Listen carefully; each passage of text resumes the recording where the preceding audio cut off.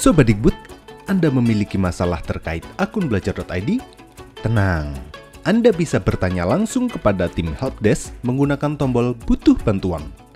Simak video ini untuk mengetahui apa saja yang perlu Anda lakukan. Sebelum melaporkan melalui tombol butuh bantuan, persiapkan hal-hal berikut. Pertama, alamat email aktif selain belajar.id. 2. Judul pertanyaan Anda. 3. Kategori masalah. 4. Tipe pengguna. 5. NIK. 6. Deskripsi atau uraian permasalahan. 7. Lampiran jika diperlukan.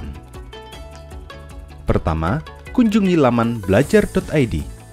Pastikan Anda membukanya pada hari dan jam kerja ya, karena Anda hanya bisa mengirim pertanyaan pada hari dan jam kerja, yaitu Senin sampai Jumat pukul 9 pagi sampai pukul 5 sore. Kedua, klik pada ikon butuh bantuan di pojok kanan bawah halaman, lalu masukkan data yang diperlukan. Pada bagian alamat email, gunakan alamat email aktif selain akun belajar ID. Pastikan alamat email ini aktif ya.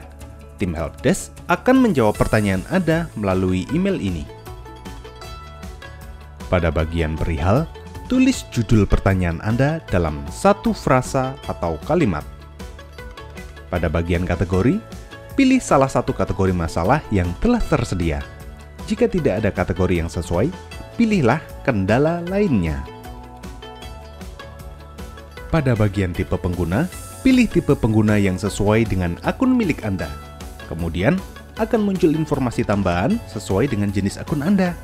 Misalnya, NPSN sekolah untuk pendidik, tenaga pendidik, dan peserta didik, atau tipe dinas dan jabatan untuk dinas pendidikan.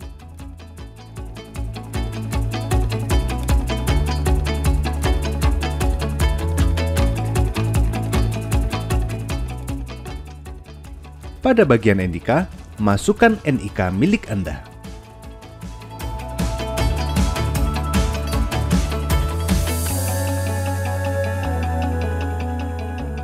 Pada bagian deskripsi, jelaskan permasalahan yang terjadi secara mendetail. Semakin detail, semakin baik. Pada bagian lampiran, tambahkan berkas pendukung yang sesuai agar tim bisa mendapatkan gambaran utuh mengenai masalah yang Anda hadapi. Terakhir, setelah semua terisi, klik kirim.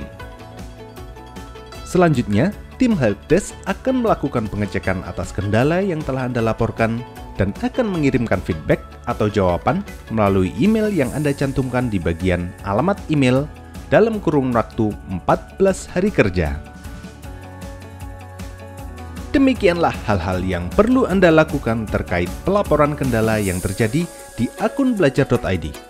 Informasi selengkapnya bisa Anda lihat di bit.ly garis miring PIT Pantuan.